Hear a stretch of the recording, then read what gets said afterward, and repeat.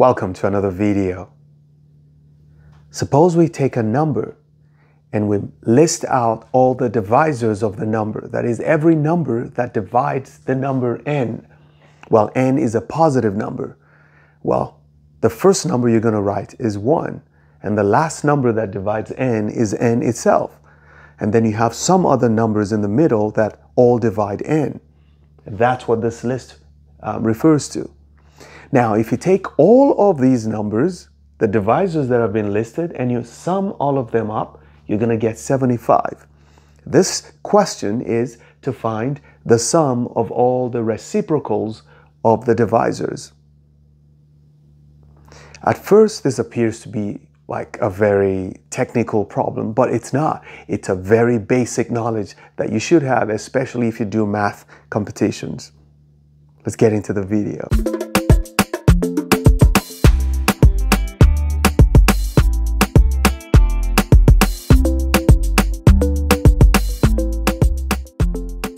So before I go into the technicalities of this problem, let me just take an example.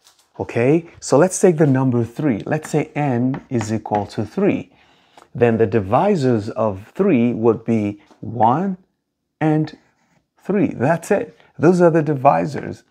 Now, if you add up the divisors of 3, you're going to have um, 1 plus 3 equals 4. So this now is representing our 75. So the question is what will be the sum of the reciprocals of the divisors? So I'm going to have 1 over 1 plus 1 over 3. Notice that when you add 1 to 1 third, you're going to get 4 thirds. You see that the two numbers, that two numbers have appeared, this 4 and this 3. So let's say that we pick the number 12, for example, or 10. Let's do 10, okay? So if we have 10, the divisors of 10, let's say n equals 10, the divisors of 10 will be 1, 2, 5, and 10. Okay? Now, the sum of these numbers will be equal to 1 plus 2 plus 5 plus 10 equals 18. What about the reciprocals? It will be 1 over 1 plus 1 over 2 plus 1 over 5 plus 1 over 10. Well, if you try to give them a common denominator, now this is the key to answering this question. If you want to give all of them a common denominator, this has to be 10 over 10.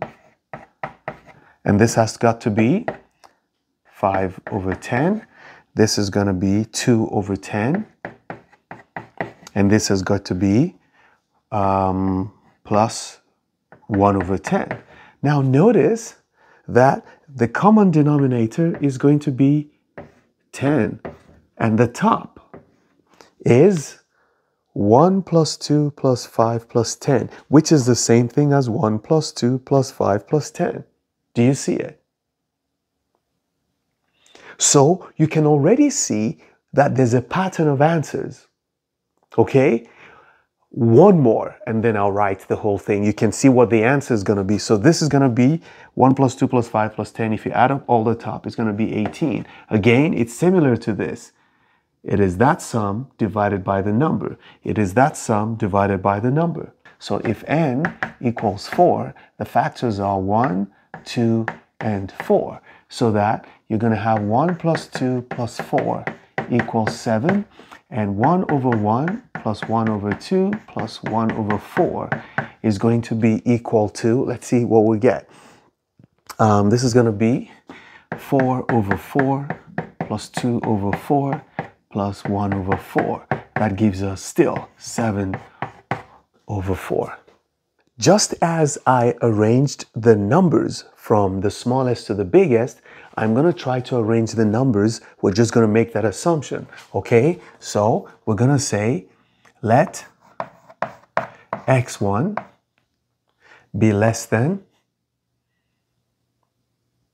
or equal to x2. Let's do k minus 2, less than or equal to x to the k minus 1, less than or equal to x to the k. Okay, so we've arranged all the factors of n. Okay,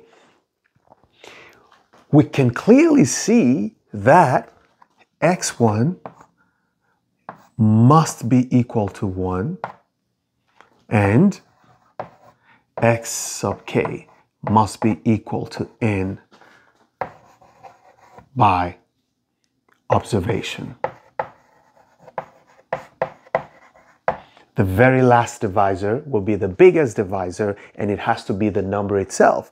And the very first divisor, if you arrange in this order, will have to be this one. And a trend is established.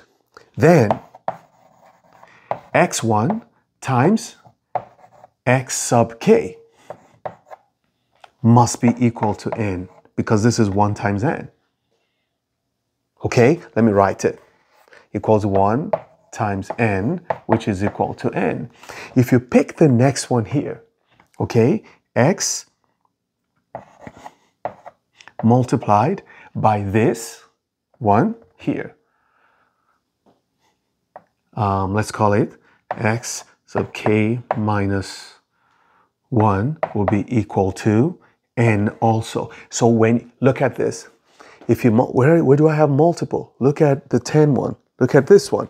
1 times 10 gives you 10. 2 times 5 gives you 10. That's how you keep going. You keep going. You keep going. Now, if it is an even number of terms, uh, is it even? If it is an odd number of terms, the middle one will have to be a square. So if you multiply it by itself, it will have to give you n, okay? And like so, and then you go x to the third times x to the k minus 2 will have to also be n, and this goes on, okay, until you get to the last one. Um, x to the, I don't want to use, let's say alpha times x sub k minus, well, I've been subtracting 2 minus alpha plus 1 is also, has got to be n, no matter what this alpha is. Okay? Now, if there's an even number, then it's going to be by itself. Okay? So this multiplying itself will have to be n, which means in a case like this, 2 multiplying itself will have to be equal to n which means it's a square. Okay? That's the understanding that I've just shown here. And all you have to do is just begin to write the reciprocals. So now let's find what we're supposed to find. We want to find the sum of all reciprocals. Okay? So we're going to start from um, this is we're using i now. I know I used alpha here. Maybe I should have used i yeah, I would be the best index because I already have I in the problem. So this is I, and this has to be, um, hey, not X, it's I. Come on, that's it. Okay, so here I know that this is going to be equal to 1 over x1 plus 1 over x2 plus tap, tap, tap plus 1 over here I'm going to have, let me just write the last two, um, x to the k, um, k minus 1 plus 1 over x sub k. Okay, so I'm adding all of these reciprocals together. But if you go here, if x1, x sub 1 times x sub k is n, that means that x sub 1 equals n divided by x sub k, n over x sub k. So that if you write the reciprocal of x, x sub 1, you're flipping this.